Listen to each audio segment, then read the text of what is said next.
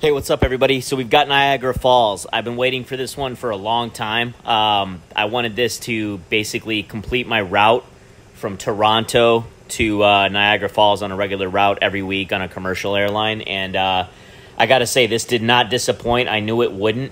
Um, my overall recommendation right out of the gate to get straight to business is it's an absolute must-have. Um, the only issue is it has nothing to do with um, this developer or anything or anything to do with this product. It's the sim as a whole. It just has those lines in the water sometimes, as you'll see.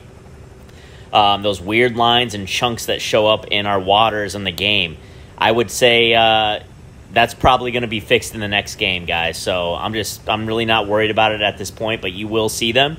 Um, so, but other than that, guys, it's a great addition. It's got an awesome like power tower launch ride thing that they're actually launching up on. Um, there's too much to list, guys. I'm gonna fly over the city, and um, all the all the great points were in the 22B helicopter. By the way, by the way, White Airwolf, uh, another must-have.